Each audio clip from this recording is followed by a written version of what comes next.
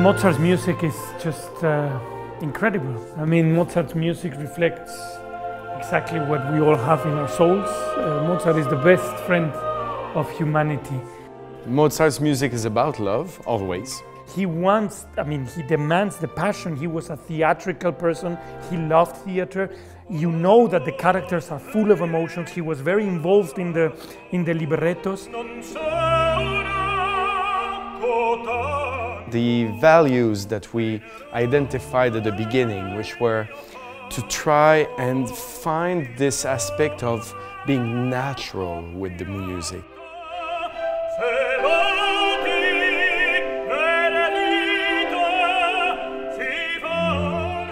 not pushing the music too hard on one side or the other, which doesn't mean staying neutral.